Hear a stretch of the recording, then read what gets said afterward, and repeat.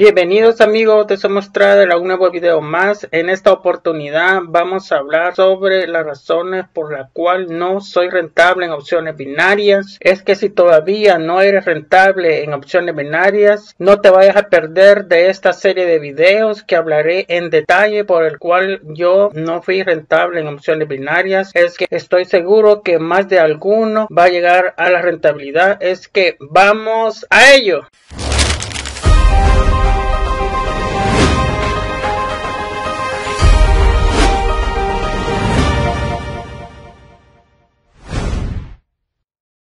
Bueno amigos, este video nace de la necesidad de muchas personas que están en busca de la rentabilidad en opciones binarias y no han encontrado esa, esa ayuda que necesitan para alcanzar esa rentabilidad. Es que les voy a hablar de acuerdo a mi experiencia y son los pasos y todo lo que yo he cambiado para alcanzar esa rentabilidad es que es se las iré mostrando paso a paso en una serie de videos a partir de este en donde vamos a hablar de la diversificación de activos en el en el que vamos a desglosar el por qué es que de esta manera nosotros perdemos menos dinero. Es que evita amigo trader de no caer en estafas ya que hay muchos videos de que te hablan de señales o de que te muestran de que son muy rentables ganando altas cantidades de dinero para que tú te eh, inscribas o te agreguen en un,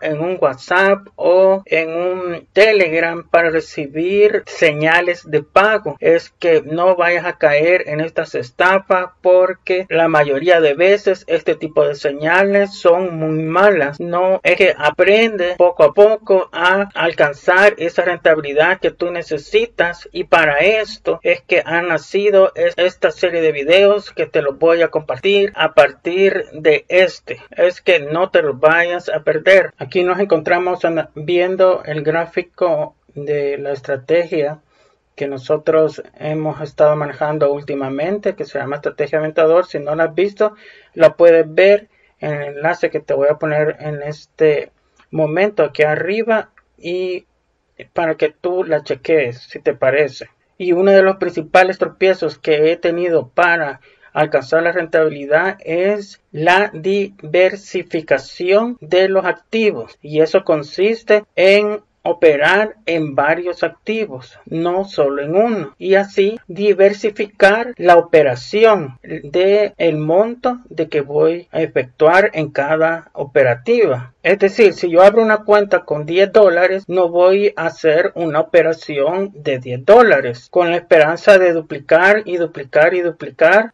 sin poner en cuenta el riesgo que corremos cada siguiente operación de perderlo todo. Para manejar el riesgo lo que necesitamos es diversificar estas operaciones y hacer varias operaciones con un monto más pequeño y en diferentes activos, así como por ejemplo en las divisas, nunca voy a hacer una sola operación solo en el euro dólar, sino que también en, en la libra esterlina, en el dólar neozelandés, en el dólar australiano, en la moneda canadiense, en el yen. Entonces, de esta forma diversifico las operaciones, la cantidad en el cual yo estoy dispuesto a perder para que si alguna más de alguna voy a salir en, en pérdida como también en, en, en ganancia, ¿verdad? No va, a ser, no va a ser que voy a perder una operación y voy a perder todo el capital. De eso no se trata. Se trata de llevarlo todo bajo control, va a minimizar el riesgo de pérdida. De esta manera lo diversifico en varios activos y en varias operaciones. Aquí tenemos el rango de las divisas,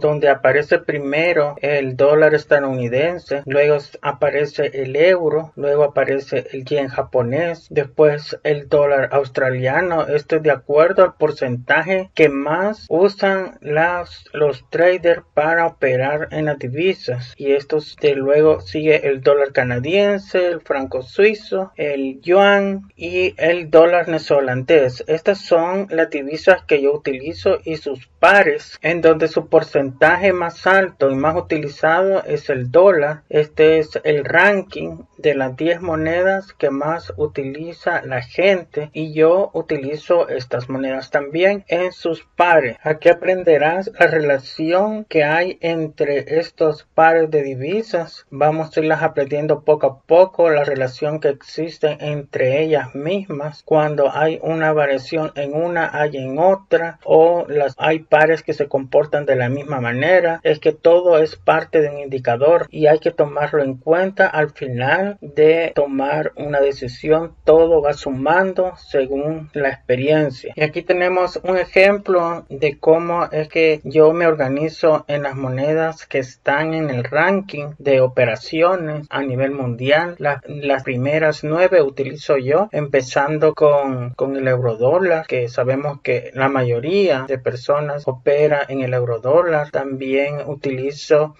el dólar frente a la libra, el dólar frente al dólar australiano, el dólar frente al, dólar neozelandés, la moneda de Canadá frente al dólar, la libra frente al euro, el franco suizo frente al dólar, el yen frente al euro y el yen frente al dólar. De esta manera los tengo yo organizados estos nueve pares de divisas que se trabajan en Forex. Estamos en una en MetaTrader 4 para hacer un análisis de subida o bajada utilizamos estas divisas. Es que me han dado muy buenos resultados no poner todo mi capital en, un solo activo sino que en varios activos dividido ese capital en, cantidades pequeñas como ya les había explicado. De esta forma evito perder el total de toda la inversión de todo el capital y lo diversifico. Es que esto es una de las cualidades que yo he venido desarrollando conforme el tiempo de utilizar de esta forma el trading y aplicarlo a opciones binarias de no usar solo un activo sino que diversificarlo. Es que si tú quieres ver cómo hago esta operativa he hecho un nuevo canal donde solo opero opciones binarias y está estas son todas las operativas que he estado haciendo eh, en los últimos días y donde podrás ver cómo aplico esto que te estoy diciendo en cada video y me está dando muy buenos resultados. Es que no dudes de darle una chequeadita por acá y el próximo video vamos a hablar de las emociones, de cómo aplicar cero emociones en cada trade y de esta manera no te afecte en tus operaciones. Es que no te lo vayas a perder. Es que nos vemos hasta el próximo video, amigos traders.